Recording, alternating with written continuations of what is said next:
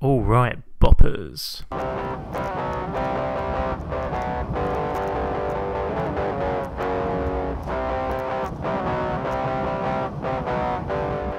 Everybody surely comes out of each chapter of this action franchise with the John Wick theme conducting their every footstep, right? From the stunning cinematography by Dan Laustsen, the staple, masterful choreography, to the pounding intensity of Tyler Bates and Joel J. Richard's score, this really is a must see for any fan of action cinema. Director Chad Stahelski's prolific experience in movie stunt work really shines through in his directing. Not only the most fluid and graceful action to hit the big screen in years through each chapter, but also creating a modern revenge classic with the original John Wick. He's a long-time collaborator with Keanu Reeves, working as a fight coordinator on Constantine, as well as a martial arts choreographer on The Matrix Reloaded and Revolutions, before working on Reeves's directorial debut Man of Tai Chi. Their creative partnership is one to be treasured.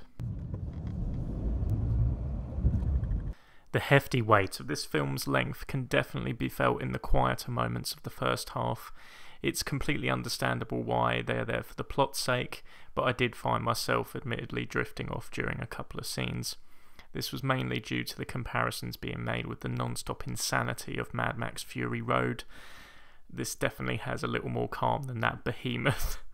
However, all of the fight scenes are just masterclasses in John Wick Chapter 4, and the second half more than makes up for any skepticism on the massive hype surrounding the film that may crop up beforehand.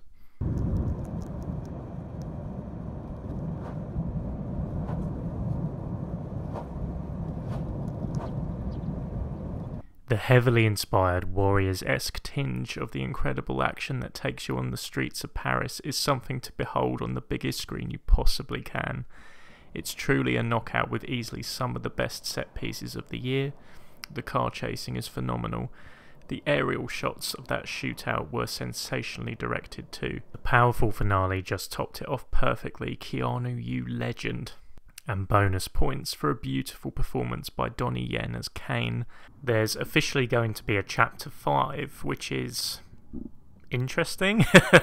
I am really excited for the spin off film Ballerina releasing next year from Len Wiseman, creator of the Underworld series and director of Die Hard 4.0 and written by Emerald Fennell, creator of the fantastically dark drama Promising Young Ballerina, will be starring the one and only Ana de Armas in the lead role, alongside our favourite shady characters from the Continental, including Anjelica Huston, reprising her role as the director.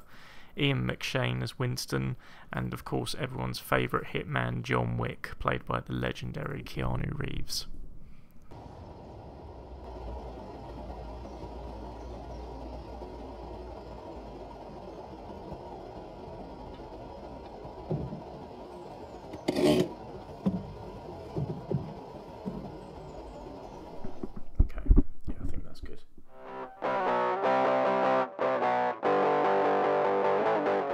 Thank you guys so much for watching. I hope you've enjoyed the review.